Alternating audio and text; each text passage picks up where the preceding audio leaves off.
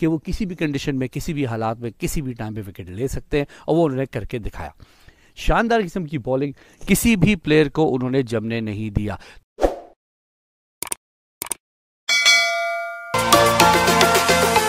India ने कर दिया इम्पॉसिबल को पॉसिबल एक बार फिर ओवल में 50 साल के बाद वो इंडिया की टीम जो पिछले तेरह टेस्ट मैचों में ओवल पे सिर्फ़ एक मैच जीत पाई थी, आज अपना दूसरा टेस्ट मैच ओवल में जीत गई है उन्नीस सौ इकहत्तर के बाद।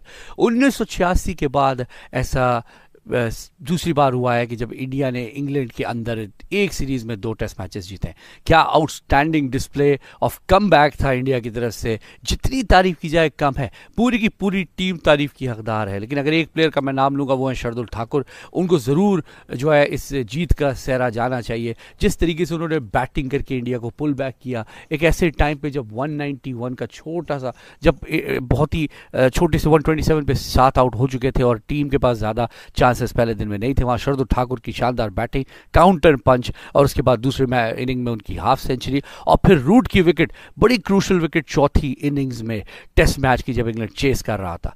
शानदार किस्म की फतह एक रन से इंडिया के नाम हुई है। इंडिया की डोमिनेंस इस सीरीज़ में बिल्कुल वाजे है। बिग मोमेंट्स जीतने वाली टीम इंडिया टेस्ट सीरीज़ में बड़े मोमेंट्स जीतते हुए नज़र आई है।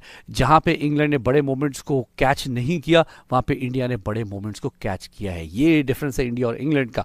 इंग्लैंड, इंडिया की तरफ़ से Bumrah fastest wicket taker hundred wicket तक पहुँचने वाले बॉलर बन चुके हैं। Fastest bowler take hundred wicket बन चुके हैं। ये एक रिकॉर्ड है। उनके नाम हो गया है आज और बुमराह की क्वालिटी का तो हम सब अंदाज़ा बखूबी जानते हैं। लेकिन जो परफॉर्मेंसेज आज टीम इंडिया के बॉलर की तरफ़ से आई है, मैंने कल कहा था कि जडेजा जो है वो क्रिटिकल साबित हो सकते हैं, वो उन्होंने दो विकटें ली। लेकिन इंडिया की फास्ट बॉलर पेस बैटरी इस तरह का एक यूनिट बन चुकी है कि वो किसी भी कंडीशन में, किसी भी हालात में, किसी भी टाइम पर विकेट ले सकते हैं और वो उन्होंने करके दिखाया। शानदार किस्म की बॉलिंग किसी भी प्लेयर को उन्होंने जमने नहीं दिया। थोड़ी बहुत रेजिस्टेंस रूट की तरफ़ से आई हसीब हमीद की तरफ़ से आई लेकिन उसके अलावा बाकी टीम एक रेत की दीवार साबित हुई और धड़ करके ढेर हो गई। दो एक से अब इंडिया सीरीज़ ले चुका है अपने नाम। ले चुने के मतलब ये है कि हार तो सकते नहीं क्योंकि एक मैच रह गया है। और ये मैं कहूँगा कि गाबा की टेस्ट के बाद ये ओवल की टेस्ट को मैं उसी विक्ट्री की आ, के बराबर समझूँगा। गाबा टेस्ट में भी इंडिया बिल्कुल कम बैक कराया था और यहाँ पर भी इंडिया ने बिल्कुल बिल्कुल out of nowhere come back करके आहिस्ता आहिस्ता आहिस्ता वो पहाड़ी चढ़ी जो उनको जीत की तरफ़ ले गई। एक और बात जो मैं इस वक्त इंडिया टीम इंडिया की कहूँगा, वो है कोहली की कप्तानी। कोहली पे बहुत सवाल उठते हैं, कोहली पे बहुत क्रिटिसिज्म होता है, कोहली की सिलेक्शन पॉलिसी को लेकर हम भी बात करते हैं, सब बात करते हैं कि आश्विन को सिलेक्ट नहीं किया।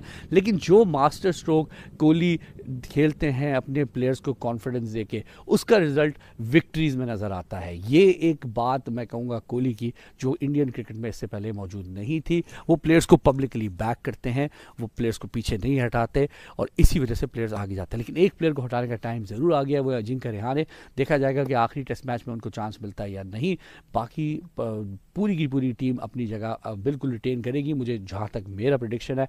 लेकिन ये देखना पड़ेगा कि आगे जाके क्या बनता है टीम इंडिया का। अब चलते हैं एक बड़े मज़ेदार टॉपिक की तरफ़। वो है मिसबा और वकार यूनुस पाकिस्तान की कोचिंग फियास्को मिसबा और वकार यूनुस ने पाकिस्तान की टीम सिलेक्शन का ऐलान होते ही अपने इस्तीफे दे दिए।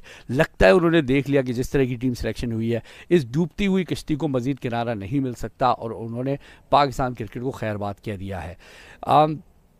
क्या उनकी रीजनिंग है? ये तो वो बेहतर जानते हैं, लेकिन जो साफ़ साफ़ चीज़ नज़र आई है कि रमीज़ राजा का आना और बाबर आज़म को कंप्लीट पावर देना, मिसबा को भाया नहीं, वकार को भाया नहीं, और उन्होंने अपना बोरिया बिस्तर समेट के अपनी इज़्ज़त, रही सही इज़्ज़त बचाने को बेहतर समझा और निकल लिया। सकलैन मुश्ताक और अब्दुल रज़ाक को बना दिया गया है इंटरम कोच हेड कोच और असिस्टेंट कोच देखा जाएगा कि पाकिस्तान को क्या फ़ायदा होता है, क्योंकि जिस तरह की टीम सिलेक्शन हुई है, मैं बात कर चुका हूँ रमीज़ राजा का, शर्जील खान से बहुत बड़ा बेर है एक टाइम पे जब शर्जील खान वापस आ रहे थे क्रिकेट में तो रमीज राजा ने कहा था कि ऐसे प्लेयर्स को परचून की दुकान लगा लेनी चाहिए और जो फिक्सर्स हैं, उनको वापस नहीं आना चाहिए।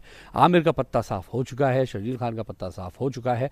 आहिस्ता आहिस्ता मुझे लगता है कि वो प्लेयर्स जो जिनका ट्रैक रिकॉर्ड पास में ख़राब रहा है, उनको हटा दिया जाएगा और सिर्फ़ उन प्लेयर्स को आगे लाया जाएगा कि भले से उनकी परफॉर्मेंस ज़ीरो हो, भले से उनकी क्लास ज़ीरो हो, लेकिन वो पर्ची की बेस पे आगे आएँगे और ऐसा हो चुका है। मोहम्मद वसीम जिन्होंने अपनी आ, मेरे ख्याल से तो आखिरी प्रेस कॉन्फ्रेंस कर दी है टीम सिलेक्शन के को लेके देखा जाएगा कि वो कब तक चलते हैं एज अ सेलेक्टर 10 अक्टूबर तक पाकिस्तान के पास टाइम है टीम चेंज करने का for ICC world T twenty लगता नहीं है कि चेंज होगी। क्योंकि अगर ये प्लेयर्स जिन्होंने एयर मार्क कर लिए थे पहले से और उन्हीं पे वापस घूम के चले गए तो ये पाकिस्तान क्रिकेट के लिए बहुत ही नुकसानदेह साबित होगा। पर ये थी छोटी सी मेरी बात बादशाह में। इंडिया को बहुत बहुत मुबारक इस जीत का। पाकिस्तानियों को बहुत बहुत मुबारक वकार और मिसबा के जानेगा लेकिन एट द सेम टाइम बहुत ही दुख भरी टीम सिलेक्शन, ये सब लेके हम साथ चल रहे हैं। अब हाजिर होंगे इंडिया के आखिरी टेस्ट मैच के बाद, जो इंग्लैंड से खेला जाएगा पांचवा, और पाकिस्तान की क्रिकेट में मजीद लेके बात होंगे। हाजिर, अपना ख्याल रखिए, मैं हूँ आपका हो सलमान खान। वीडियो देखते रहिए, वीडियो लाइक करना ना भूलें शेयर करना ना भूलें, और सब्सक्राइब करें चैनल को। अपना ख्याल रखें, खुदा हाफ़